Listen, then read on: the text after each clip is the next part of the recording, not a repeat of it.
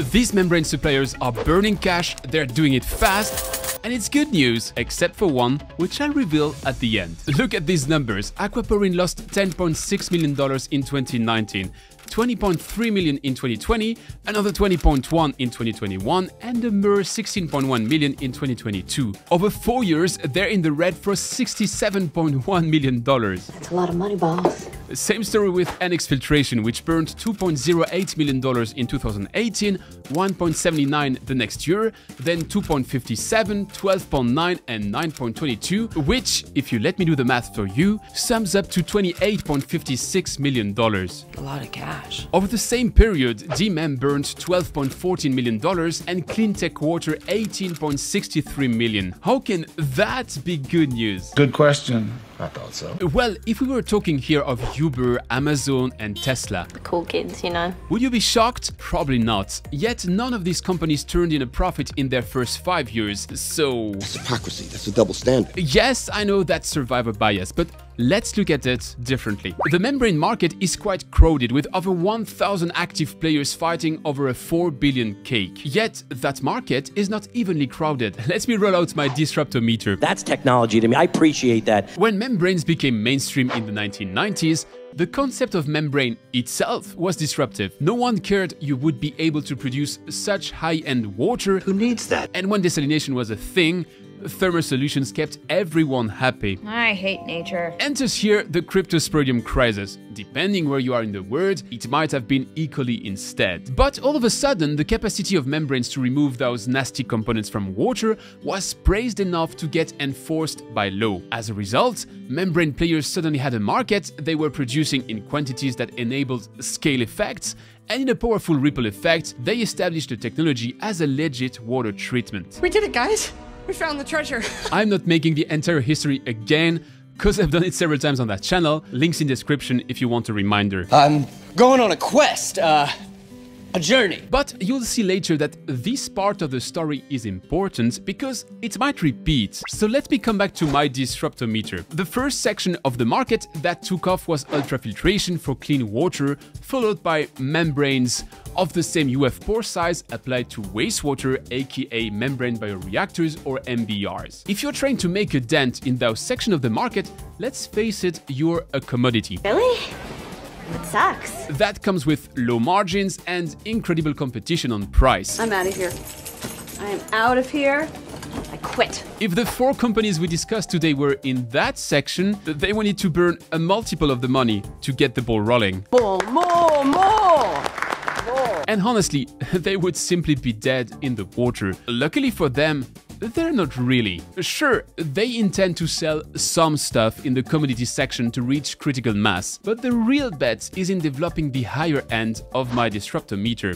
De.Mem and NX Filtration are into municipal and industrial wastewater reuse, Aquaporin doubles down with the most touchy industrial wastewater applications up to brines and complex food and beverage products, while CleanTeq Water looks into mining and oil and gas. These markets can be high rewards with profit margins when you sell a system that can reach the 30% range. Oh, that's nice. That's nice. So it's no surprise to see more new entrants hunting in those waters. Let me name three more. Membrion and its high flux ion exchanging ceramic reverse osmosis membranes. I got it! Bingo! ZwitterCo and its Zwitter ionic hydrophilic superfiltration membranes that never clog or foul, or Evove and its graphene-coated spiral wound membrane that's engineered to have the most homogeneous pore distribution you can dream of. That sounds great. I'll also do that. Do these companies also burn money?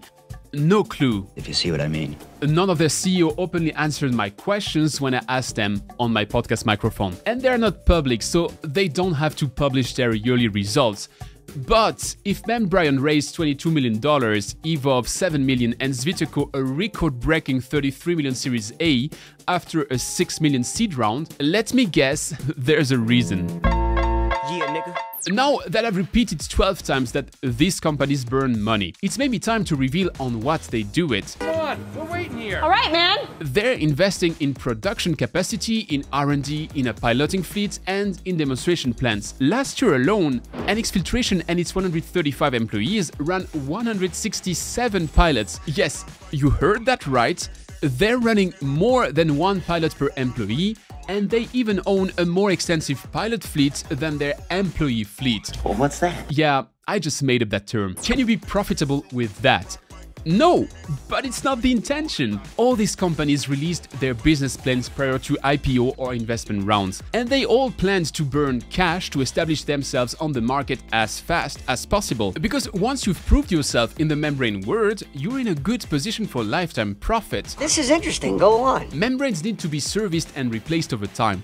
And when you're into large industrial accounts, you're also discussing with companies that own more than one site and are eager to standardize their processes from one place to another. Why don't you explain this to me like I'm five? In another simplified nutshell, enter once and profit for a while. Sounds good to me. I bet it does! Here's where my cryptosporidium crisis analogy kicks in. At the end of the disruptometer, all these players establish themselves, a tide of similar magnitude is starting to rise. It's called water scarcity. When states announce they want to 10x their reuse, and when most industrials align themselves for 100% wastewater reuse loops, as Alex Rappaport, the CEO of ZwitterCo, told me, I've never had to walk into a customer conversation and convince them that doing something more interesting with their water was a good idea. Those days are long gone. It's no longer a question of why shall one reuse its wastewater, but of how to do it. And all these players have unique arguments to get the lion's share over commoditized traditional players. Does this one-to-one -one mean that they will all become the new Zenon or Xflow? Not investment advice, never was, and of course not. But on paper, if you were an early investor of NX Filtration, you've already 10x your investment while the company still burns money and didn't break the $9 million yearly turnover mark yet. So imagine if they turn profitable. Oh my god. Jackpot, baby. Bottom line, I guess you can afford to take an informed risk.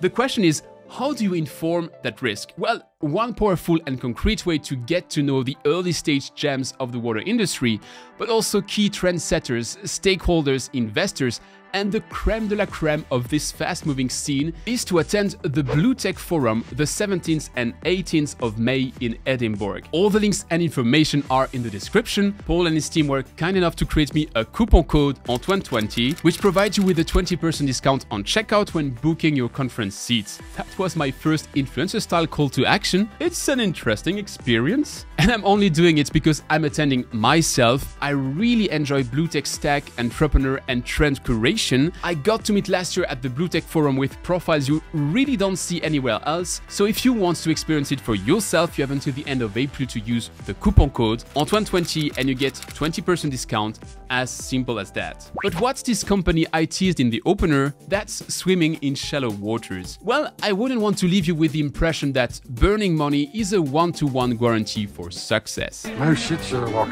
Indeed, there's one more membrane company for which I'd see these losses as rather bad news. 3.8 millions in the red in 2018, break-even in 2019, and losses of 9.81, 11.1 and 14.2 million over the last three years, LiqTech International has been in the red for nearly $39 million over the past five years. But why would that be bad news for them and not the others? Good question. Oh yeah? Well, first, they're in business for longer, as they were created in the year 2000. More of a problem, their water revenue has been divided by 5 since 2019, and they laid off 25% of the headcount in 2022. Plus, their technological bet to triple down on silicon carbide membrane and potentially bring it into reverse osmosis waters hasn't paid off yet. Today, they still don't have such a product on the shelf, and the strong tailwind ceramics were experiencing just months ago have been reduced by the new leapfrogs in polymerics and graphene solutions. Is LiqTech dead in the waters? Not yet. Their strategic plan for rebound may work, but at a $20 million valuation, they're down by 98% compared to their all-time high and by 96% compared to where they were just two years ago. So membrane plus burning money is not a silver bullet, it may or may not be good news, and if you find that's a lame conclusion, come tell me face to face at BlueTech Forum using the Antoine20 coupon code, and the first beer will be on me. See you next time.